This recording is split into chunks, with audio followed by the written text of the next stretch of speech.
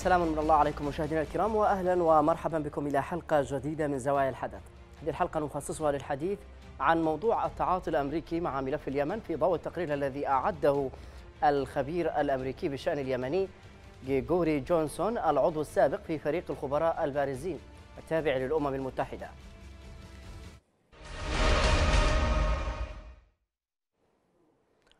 قال تقرير صادر عن مركز صنعاء للدراسات إن الولايات المتحدة ليس لها سياسة خاصة تجاه اليمن. ووفق تقرير أعده العضو السابق في لجنة العقوبات التابعة لمجلس الأمن الدولي فإن الولايات المتحدة تنظر إلى اليمن كبلد ملحق بينما تملي السعودية عليها أفعالها باليمن. وبحسب التقرير فإن الولايات المتحدة تضع نفسها أمام مجازفة حقيقية وهي دعم أهداف السياسات السعودية بدلا من دعم أهداف سياستها في اليمن مما قد يؤدي إلى فهم مشوه لما يحدث. في ذات السياق قال العضو السابق في لجنة فريق الخبراء البارزين الدوليين المعني باليمن جيغوري جونسون إن الإمارات ظلت ترسل لهم ملفات حول أشخاص في حزب الإصلاح مدعية أنهم أعضاء في تنظيم القاعدة. وأضاف في تقرير نشره مركز صنعاء للدراسات إنهم في كل مرة يحققون حول هؤلاء الأفراد ويتضح انهم لم يكن أي منهم عضوا في تنظيم القاعدة. بل أن كل ما في الأمر أنهم أعضاء وشخصيات في حزب الإصلاح تكرهها الإمارات. كيف يمكن قراءة مثل هذا التقرير في سياق التعاطي الأمريكي الراهن مع اليمن؟ وما الذي يفترض أن تقوم به الحكومة اليمنية للتعامل مع مثل هذه السياسات؟ في أو حول هذه التساؤلات وغيرها سيكون موضوع حلقتنا ولكن بعد أن نشاهد سويا هذا التقرير. كيف تنظر الولايات المتحدة الأمريكية لليمن؟ ومن أي زاوية تبني تقييمها للأحداث فيها؟ وعلى أي أساس؟ السياق الطبيعي يقول إن اليمن دولة عضو في الأمم المتحدة ولها خصوصيتها الديمغرافية والجيوسياسية ناهيك عن عمقها التاريخي وكونها مهد العرب الأول. ذلك وغيره من المميزات. يجعلها ذات خصوصية جغرافية وسياسية تعزز من أهميتها بغض النظر عن مراحل الضعف السياسي المرتبطة بكثير من التعقيدات داخليا وخارجيا. وعلى العكس مما يتوقع اليمنيون تنظر لهم الولايات المتحدة كبلد ملحق بالسعودية. ولا يبدو أن لها سياسة خاصة تجاه اليمن كبلد ذي خصوصية سياسية. ذلك ما كشف عنه تقرير صدر عن مركز صنعاء للدراسات وفقا للتقرير الذي أعده العضو السابق في لجنة فريق الخبراء البارزين الدوليين المعني باليمن جورجيو جونسون. فإن الولايات المتحدة تنظر إلى اليمن كبلد ملحق تملي عليه السعودية ما ينبغي فعله وأن واشنطن ترى الأزمة في اليمن ضمن سياق الجهود الأمريكية لمواجهة إيران ولعل من أخطر ما ذكره جورجيو بصفته عضوا سابقا في لجنة العقوبات التابعة لمجلس الأمن الدولي هو أن الإمارات ظلت ترسل لهم ملفات حول أشخاص من حزب الإصلاح على أنهم أعضاء في تنظيم القاعدة. وعند التحقيق حول أولئك الأفراد يتضح أن أيا منهم لم يكن عضوا في القاعدة. وأن كل ما في الأمر أنهم أعضاء في حزب الإصلاح تكرههم الإمارات حسب قوله. هذا التصور بغض النظر عن بعض الملاحظات فإنه يكشف جانبا من زيف الموقف الأمريكي المعلن تجاه اليمن الدولة والمشكلة بل والسيادة. الأمر الذي يفترض أن يستدعي تحركا يمنيا على كل المستويات خصوصا الدبلوماسي لتصحيح الخطأ الأمريكي. في فهم الخصوصية اليمنية لأن النظر لليمن بعين السعودية يجعل الرؤية ضبابية ومغلوطة. إذا للحديث سينضم إلينا من القاهرة المدير التنفيذي لمركز صنعاء للدراسات السيد ماجد المذحجي سيد ماجد مساء الخير. مساء الخير مساء النور. هلا فيك حبيبي.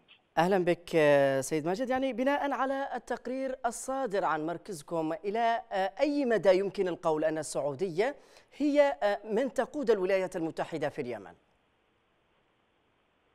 مرحبا. بداية فقط للتمييز هو هي ورقة كتبها جريجوري جينسون. هو باحث لدى المركز وليس تقريرا صدر المركز تقرير المركز تصدر شهريا بشكل منتظم. هذه ورقة عن أحد باحثينا. بالإجمال نعم. آه التقرير يكتب تحديدا مقاربة يستكشف كيف قاربت الولايات المتحدة آه الشأن اليمني باستمرار فهو يرى وهو أحد الحقائق الأساسية اللي يتطرق لها إنه لطالما قاربت الولايات المتحدة الملف اليمني عبر آه، عين سعودية أو بالأصح انه اليمن هي ملحق تحديدا بالسياسة الأمريكية التي تنظر للسعودية باعتبارها مركز المقاربة لها في جنوب الجزيرة العربية، فبالتالي الأمر يتعد الأمر يختلف عن كون السعودية تقود الولايات المتحدة في اليمن إلى زاوية إنه الولايات المتحدة لا ترى اليمن إلا من تحديدا من من ضمن من الأولويات السعودية من ضمن الاستراتيجية الأساسية الموجهة إلى السعودية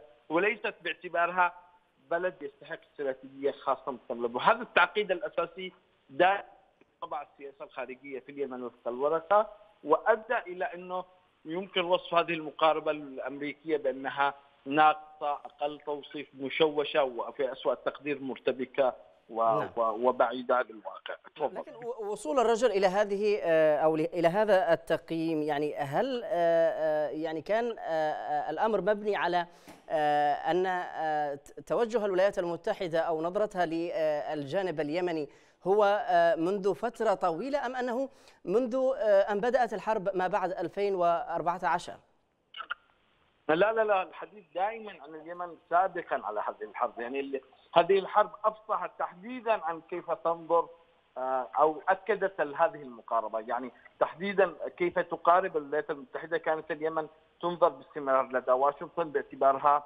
أحد المزرعه الخلفية للمملكة العربية السعودية يعني منطقة نفوذ مغلقة على التقديرات السياسية والأمنية السعودية والولايات المتحدة تحمي مصالح شريكها الاستراتيجي في المنطقة اللي هو المملكة وبالتالي اليمن دائما ما نظن لها. هذا هذا أمر مفهوم البلد الأهم تحديدا في المنطقة بالنسبة للولايات المتحدة السعودية والمصالح الأساسية للسعودية ينظر لها بتقدير وبأولوية في واشنطن. واليمن بلد لم ينافس تحديدا باتجاه إخراج نفسه من هذه الحلقة ولم يقدم شيء أساسا يغري.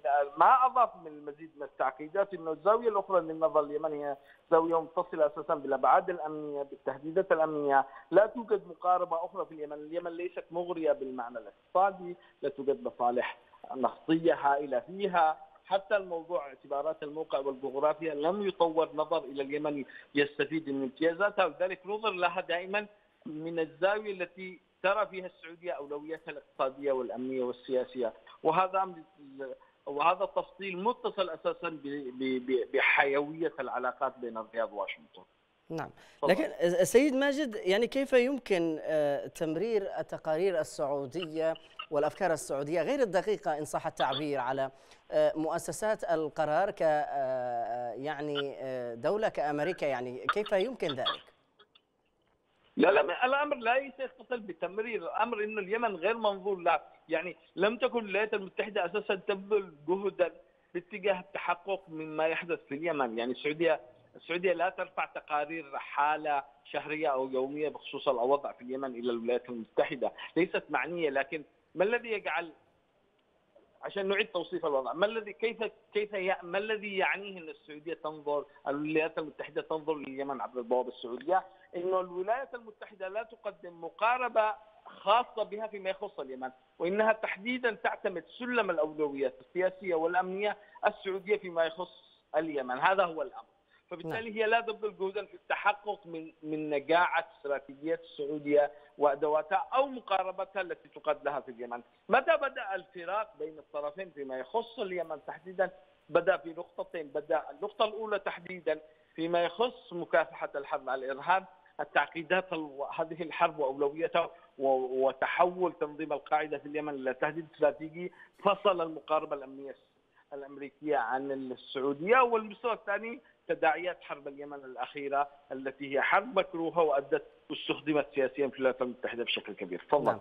اذا آه، تكرم بالبقاء معي سيد ماجد. ونشرك معنا آه، الكاتب والمحلل السياسي السيد علي العبسي. سينضم إلينا من العاصمة الألمانية برلين.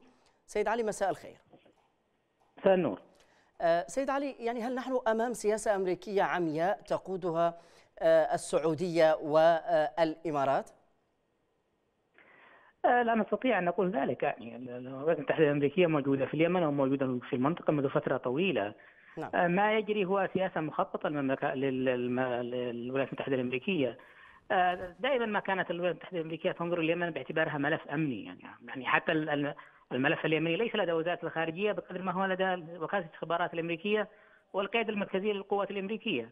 كان اليمن بالنسبة لهم تهديد. اليمن بالنسبة للولايات المتحدة الأمريكية كانت أفغانستان لكن على البحر. ولذلك التهديد الأمني اليمن كان تهديدا امنيا للولايات المتحده الأمريكية.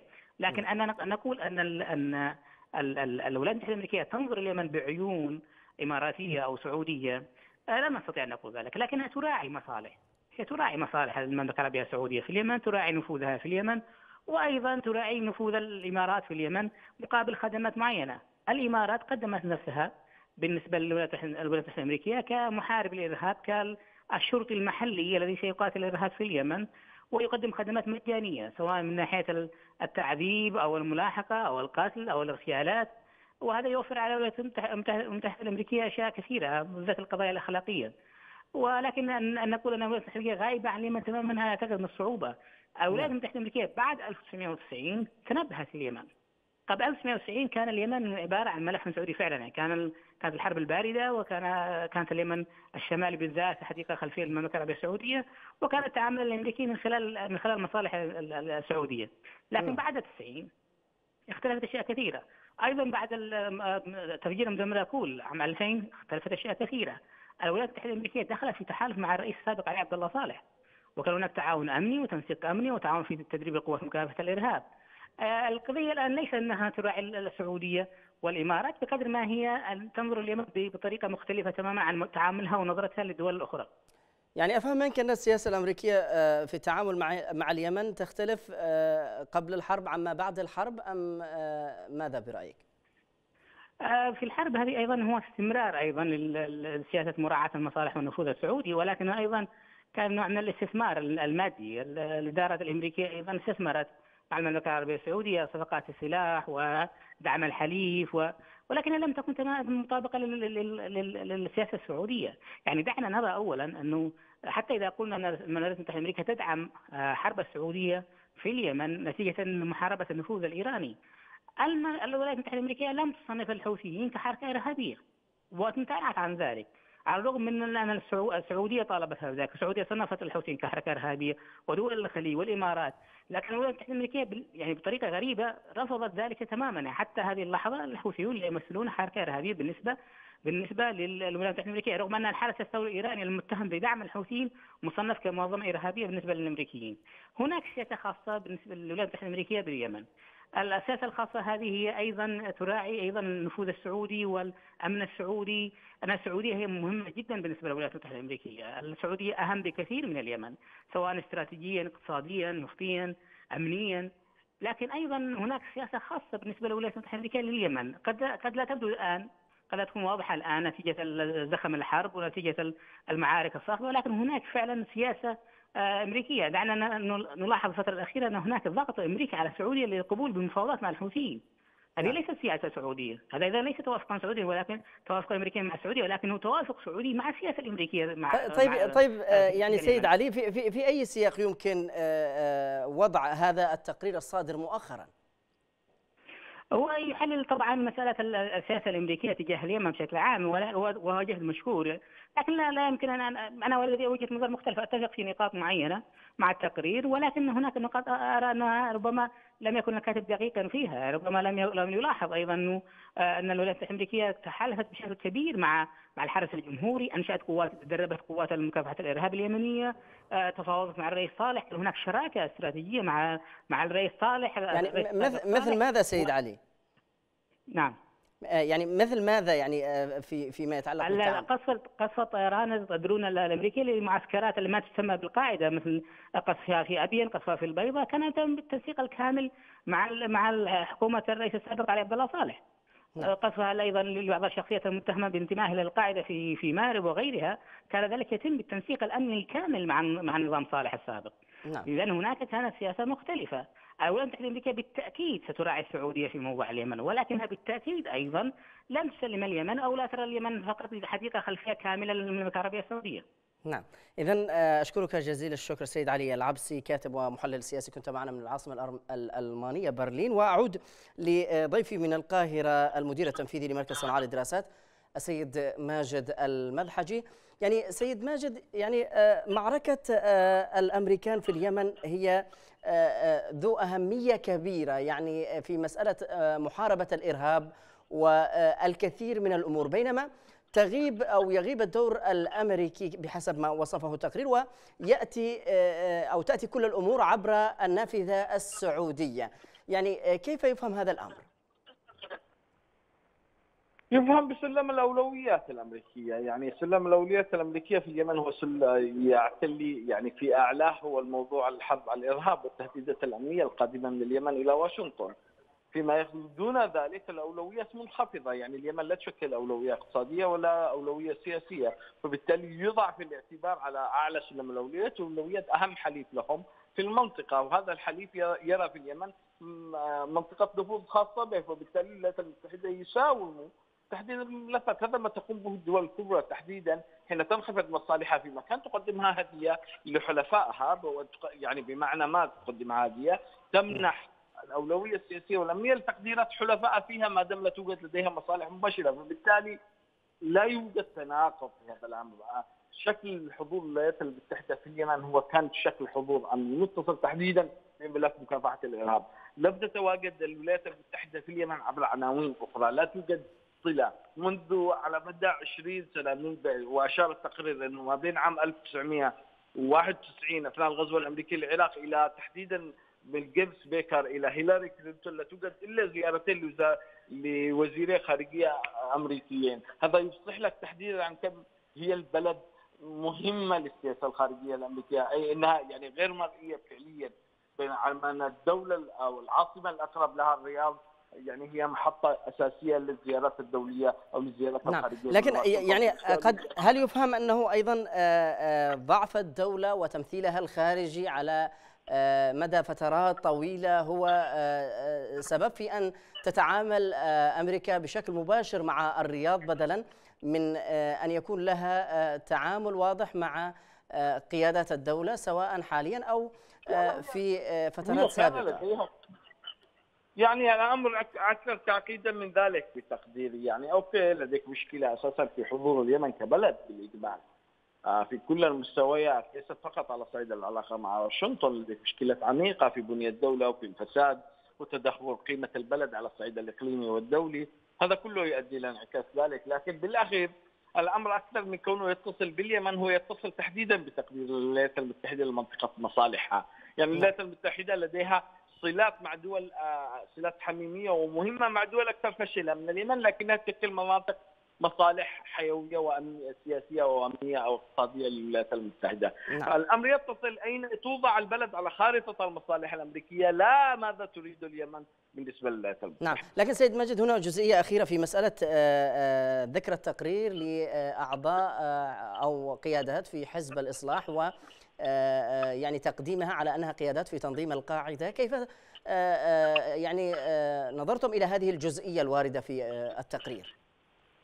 هذه هذه تحديدا خبرة كاتب التقرير، كاتب التقرير جريجوري آه، هو هو عضو سابق في فريق الخبراء التابع للأمم المتحدة، فريق الخبراء المتصل بتقييم الأوضاع في اليمن. ومن موقع عمله في لجنة الخبراء كان يتلقى عدد من التقارير حول اتهامات القيادة السياسية بما فيها القياده السياسيه في الإصلاح وأشار إلى نموذج بارز هو شقيق محافظ مارب سلطان العراده اللواء خالد العرازه باعتباره مصنف لدى الولايات المتحده كأحد الأشخاص المتهمين بالعلاقة مع القاعدة. نعم. وأشار تحديدا إلى أن هذا الرجل اتهم مرارا لكنه لم يجدوا تحديدا كلجنة خبراء أي أدلة تدعم اتهامات الإمارات والولايات المتحدة إلا باستثناء كونه قيادي إصلاحي.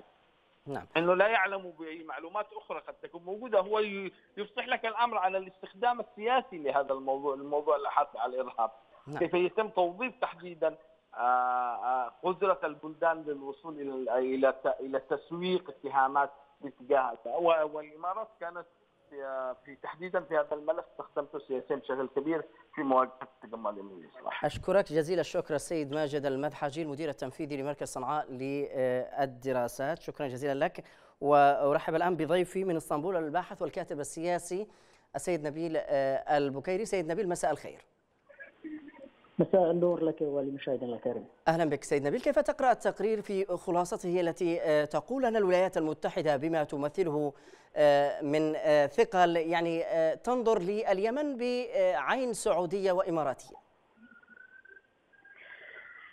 لا شك هذه النظرة الأمريكية هي ليست جديدة، النظرة الأمريكية هي قائمة منذ 11 أحداث 11 سبتمبر 2000 و و 2001 آه، نعم. هذا المنظور هو منظور أمني آه، بحت لا علاقة له باوضاع البلاد السياسية والاقتصادية ولا حتى الاجتماعية. بقر ما ينظر لليمن على أنها آه، ملف أمني من ملفات المخابرات الأمريكية وبالتالي تبنى سياسات الولايات المتحدة الأمريكية من هذا المنظور الذي يقارب الأزمة في اليمن على أنها أزمة أمنية ويجب أن يتم التعامل معها بالمنظور العسكري والأمني فقط. وهذه النظرة هي النظرة التي أدت إلى انهيار الكثير من السياسات الأمريكية تجاه اليمن وانهيار أيضا حتى منظومة الحكم في اليمن على امتداد العشرين سنة الماضية. باعتبار أن النظام صالح أيضا كان يستخدم نفس زاوية النظر الأمريكية ويقسمها آه، بشكل كبير فيما يتعلق بابتزاز الجانب الأمريكي بملف وورقة الإرهاب ليظل بمثابة آه، يعني العميل أو بمعنى آخر بمثابة العراف الوحيد للملف اليمني أو للملف أو للزاوية التي تريدها الولايات المتحده الأمريكية من الجغرافيا اليمنيه وبالتالي نحن رأينا النتائج حتى الآن ما آلت إليه الأوضاع في اليمن. انهيار منظومة النظام السياسي القائم نظام علي عبد الله صالح من خلال أحداث 11 فبراير آه، آه، أحداث آه، سبتمبر فبراير عفوا وما تلا ذلك من انقلاب سبتمبر 2014 كل هذا نتيجة لأن الولايات المتحدة الأمريكية لا تنظر لليمن من من زاوية أن هناك نظام سياسي أو من زاوية سياسية يجب آه، نعم. أن تحل وتعالج كل اوراق كل الملفات وكل الأوراق من خلال مقاربة سياسية حقيقية للملف اليمني وإنما مقاربة أمنية عسكرية تمثلت بالطائرات بدون طيار تمثلت أيضا بمختلف العمليات التي رأيناها على امتداد السنوات الماضية فيما يتعلق باستهداف اليمنيين على أراضيهم وخارج إطار القانون والدولي نعم. لكن سيد نبيل فيما يتعلق بالقوائم التي يعني ترفع بين فترة وأخرى بقيادات في حزب الإصلاح وأفراد يعني كيف هل يمكن لحزب الإصلاح يعني مثلا تفعيل أدواته السياسية؟ يعني كونه يمثل ثقل كبير داخل الشرعية في الفترة الحالية. فيما يتعلق بهذا الملف بالذات أنا باعتقادي حتى الأمريكان عندهم تحديد دقيق وواضح لمسألة الأفراد المنتمين للقاعدة ويفصلون جيدا بين التجمع من الإصلاح وبين بقية الجماعات الإرهابية التي آه، آه، تشتغل أو تعمل في إطار أو متورطة في إطار الملف الأمني والملف الإرهابي. وبالتالي يعني هذه الملفات التي تقدم من قبل الإمارات آه، هي ملفات هي هي قضية سياسية وقضية توظيف سياسي آه، واضح ومكشوف. حتى للأمريكان أنفسهم ليس آه، لا ينطلي على الأمريكان مثل هذه الملفات لأن الأمريكان لديهم قنوات خاصة ولديهم آه، معلومات خاصة ولديهم تواصلات خاصة بالشان اليمني ويدركون جيدا تفاصيل هذا الملف. وبالتالي أنا باعتقادي ما كشفه جريجوري جونسون في هذه الإحاطة وبهذه المعلومات التي هو يريد أن يقول أن هناك توظيف سياسي لملف الإرهاب لا علاقة توظيف سياسي لا علاقة له حقيقة بفعل وجرائم الإرهاب الموجودة. لكن مع ذلك هناك تصنيفات للولايات المتحدة سيد نبيل. هذه التصنيفات أيضا آه، حتى الذين مثلا تم يعني آه، ادراجهم ضمن ما يسمى بورقة الخزانة الأمريكية حتى هؤلاء الذين تم دمجهم في هذه الورقة لا يجدون عليهم أي دليل مادي آه، واضح وقوي وصريح فيما يتعلق بتورطهم بالإرهاب هي مجرد معلومات وتسريبات وإشاعات أحيانا لا ترقى لأن تكون دليل واضح وثابت فيما يتعلق وكيف تنطلي إشاعات على يعني دولة كالولايات المتحدة الأمريكية بجميع أجهزتها الاستخباراتية وغيرها؟ الولايات المتحدة الأمريكية أيضا لها قائمة قوائم واضحة في هذا السياق، لديها قائمة استهداف وهؤلاء الذين لديهم معلومات شبه كاملة عنهم وأنشطتهم وتحركاتهم وهؤلاء الذين يدخلون ضمن ما يسمى بمستهدفي طائرات الدرونز. القائمة الثانية هي قائمة الاشتباه وقائمة الاشتباه هذه هي تخضع أيضا لمعايير سياسية وتخضع أيضا حتى في بعض الأوقات حينما آه، آه، في حال وجود دولة حقيقية في اليمن ويمكن أن تطالب الولايات المتحدة الأمريكية بإثبات أدلتها فيها بخصوص هؤلاء الأفراد أو أن أن يرفعوا أو ترفع اسمائهم قوائم الاستهداف كما رأينا في ملف الشيخ محمد المؤيد سابقا وتم احتجازه ومحاكمته في الولايات المتحدة الأمريكية وبالتالي لم يثبت عليه تورط وتم إطلاق السراح وبقيه نعم. الذين يتم يعني تصنيفهم في هذا الإطار هو ينطبق عليهم ما ينطبق أيضا على الشيخ محمد المؤيد. نعم لكن سيد نبيل يعني في مسألة ردم الفجوه ما بين آه، آه، العلاقة ما بين اليمن والولايات المتحدة الأمريكية ربما يعني السياسة الخارجية والدبلوماسية اليمنية فشلت في آه، تجاوز هذه المشكلة في فترات سابقة هل يعني برأيك أو تنظر إلى التمثيل الدبلوماسي حاليا اليمني والدبلوماسيه الخارجية والسياسة الخارجية اليمنية بإمكانها تجاوز هذه المشكلة في القادم؟ هو كنا سنتجاوز هذه المشكلة في حال وجود دبلوماسية يمنية لكن لحد للأسف ليس هناك على الإطلاق دبلوماسية يمنية منذ سقوط الانقلاب وسقوط الشرعية في 2014 كل ما هنالك هو محاولات وجهود ربما لا ترقى إلى مستوى الأزمة والحدث. هناك جهاز كبير بيروقراطي كبير يمثل وزارة الخارجية اليمنية لكن ناتج عمل كل هذه الأجهزة البيروقراطية من سفارات ومن ومنظمات وأيضا حتى جهاز دبلوماسي وسياسي لا يساوي صفر أمام آه، آه، حجم الأزمة التي تعانيها ويعانيها اليمن اليوم. أشكرك. بمعنى آخر إنه في حال ما وجدت دبلوماسية حقيقية باعتقادي هذه الملفات يمكن تجاوزها بسهوله. نعم أشكرك جزيل الشكر الكاتب والباحث نبيل البكيري كنت معنا من آه، مدينة إسطنبول وإلى هنا وصلنا إلى ختام حلقة الليلة أشكر جميع ضيوفي وفي الختام تقبلوا تحياتي وتحيات منتج هذه الحلقة الزميل ودي عطا وهي أيضا من جميع أفراد طاقم العمل حتى الملتقى في أمان الله.